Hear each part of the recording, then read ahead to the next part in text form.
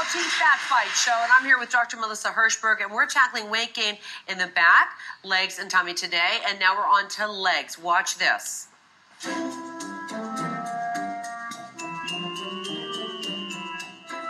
fat has its unique locations to store fat. If you tend to carry your weight below the waist, fat thighs have probably been a real challenge. In women, it is especially difficult due to childbearing genes. Sugar, alcohol, trans fats, and carbohydrates are a few of the culprits that almost guarantee fat thighs. My least favorite body part, I would have to say, are thighs. My legs, my thighs. My legs, oh god. They're very large. I don't understand them. They're problem areas. I think they look really big compared to like the rest of me because they're fat. they have to hold up my bum so they're a little big. It's very hard to find pants that fit me. I don't know why they, they're there. Not really a big fan of them. Especially in the summer, they're the hardest to hide. I just don't like thighs. And um, I don't know how to get rid of them. I don't understand them either. We're going to help another one of our viewers tackle their problem area. Come on up, the lovely Olivia. Come on in. Nice to see you. Pleasure. Okay. So you know Dr. Melissa Hershberg. Okay, let's talk about, you know, what's the problem here?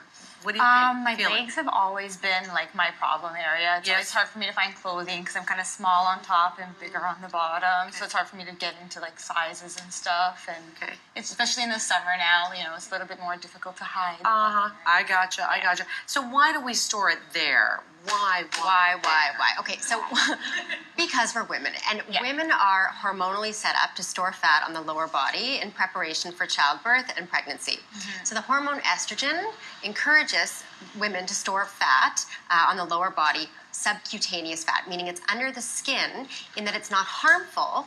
Uh, because it's not around our internal organs, it's more just a reservoir of fuel for when we have to breastfeed or uh, become pregnant. The trouble is, because it's under the skin, uh, even though it's not harmful, we don't like the look of it because when it's under the skin, it's visible and it bulges and it forms what we call cellulite. Right. So essentially, our skin is nice and smooth like this. And what cellulite is, is when we gain weight, we don't increase the number of fat cells. Instead, what happens is the fat cells that we do have um, swell. And now, because they're under the skin, we can see them. So what ends up happening is we get this lumpy, bulgy, bumpy appearance that we don't like. Okay? So that Mm-hmm. Yeah. tends to happen, and that's what most women complain about when they're talking about their lower body Sure. fat. Sure. So that's. Is there any way to get rid of that uh, as far as calories or anything? Right, know? so cellulite uh, is tough. I mean, there's no magic potion or cream or I've anything like yeah, exactly. You know, we, we all try it, and I mean, we'll continue to try it because you know you got to have hope. But um, but really, what it comes down to is general weight loss and Yeah. reducing calories. Uh, so you need to you know watch your weight and also intense exercise. So what you want to do is do exercise that incorporates your large muscles of the lower body. Uh, interval training is great. Yes. So things like jogging and interspersing it with sprints um, can be really helpful. And also, what you want to do is sort of camouflage, which I'm sure the other experts are going to talk about. Sure, So build yeah. up your upper body so that you can get that nice hourglass appearance, and building up your upper body uh, will help. You know, also rev metabolism, which is going to be really important. Well, let's go talk about working out. Okay, let's do it. Thanks, Melissa. Come on over, Olivia. Let's go talk to Samantha. Okay. Now, there's a couple of exercises you can do for this problem area. You're going to give us two good ones right yeah, now. so these are my two uh, go-tos. My first one would be the lunge because it's a very functional exercise that we do because it's almost like you're walking or you're running, Mm-hmm. okay?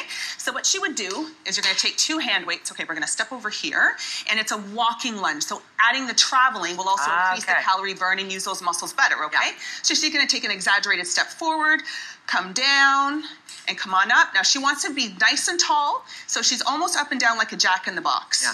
Yep, and come ac- across, yep, and come down and come on up. So the more you can travel, Right. the better. And so what you're doing with these lunges is you're actually working your largest muscles, like Melissa said, mm-hmm. which would be your quads right across in here. Okay, in the front of your, your thighs. And then you've got your hamstrings over here, and then you've got your glutes as well. Mm-hmm. Okay, so you're working all three of these biggest muscle groups that we have, and they, they use the most energy, so that's why it's really efficient. It's really efficient. So when that happens and you do this constantly, you know, every day you do these, again, the reps are how many? I would say to start two to three sets. It really depends on what your fitness level is. Right. 12 to 15 repetitions. Yeah. Okay, and that and that after a while you'll you'll you'll get it down really good, you know.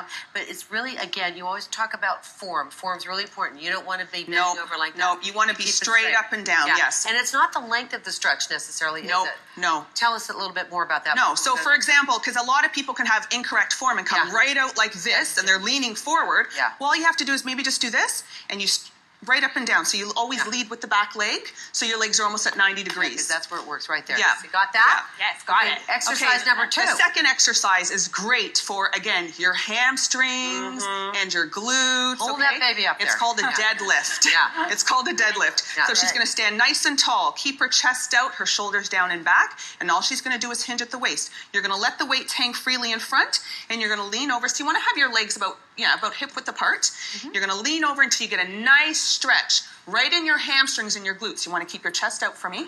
Yep, there you go. And then Mm-hmm. squeeze your glutes, and then come on up. Okay, so her abs are tight. She leans over till you get a nice stretch, and then squeeze your glutes and come on up. Remember that bird that your dad brought home from the airport that would go in the water and it would hinge and it kept getting away? That's you know that's not as fast as the bird did, but that's how you hinge. Yeah, I remember that one. it. That's that's the visual on that one. Thanks, Samantha. Come on over here, Olivia. Her back away. Hey, Claudia, Olivia. Okay, so now. How to dress the part. She's small at the top. She's just a little wide at the bottom. What are you going to do? Yes. Okay. So Olivia's my real life, dear old friend who has graciously agreed to appear on the show today. So thank you so much. I know how hard this is, but we love it, and we love that you're here. So we got some easy fixes for you that are going to really help all that. I brought in some shapewear, which is always important. Not the most comfortable or the sexiest, But, it's getting better. it is It's getting better. Yeah. the first one I have here, this is for Hanes Firm Control Shapewear. This is the I am going to war. I have a cocktail party to go to. I have been going to town on food all week. That's and right. I have three minutes to fit into this dress. And if you don't That's think they are. don't do this on the red carpet, they do. They wear sometimes two of them. Surprise! I'm not kidding you. Yes, they do.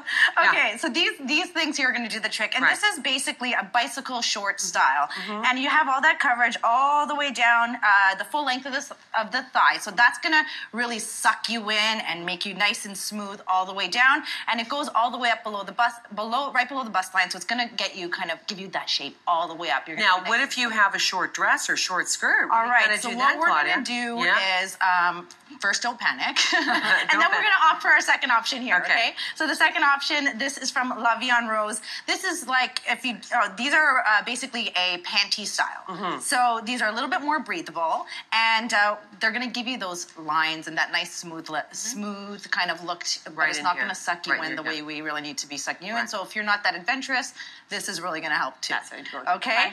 Let's talk fashion. Okay. All right. How to so offset the look. First Okay. thing I want to do is I want us to embrace the A line. Okay. Yeah. Listen, it's all about again. If we're thinking about those proportions that we talked about earlier, the A line is really going to help with that. Absolutely. Because think about how small your legs are going to look in comparison to that silhouette. Mm-hmm. They're going to look tiny, right? So that's really going to help. We love that. And this is a nice thick fabric too, so that's going to help disguise all of that as well. The next thing we want to do is look for patterns and prints that do all the work for you. We love that. It's lazy dressing and I love it.